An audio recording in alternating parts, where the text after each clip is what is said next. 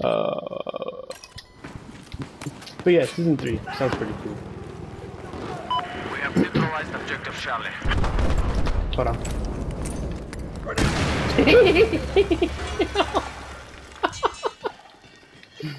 oh, that was great. I'm gonna record that.